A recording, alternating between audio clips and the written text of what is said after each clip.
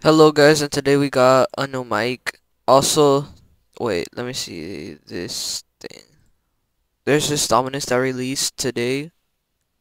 Uh, I got it. Let me see if it's good or not. It's like a Dominus from for 2023. I mean, I guess it's pretty good. I'm not gonna lie. So yeah, I guess that's good. I mean. I I hope my videos could be like higher quality now since I have a new mic and new headphones. So yeah.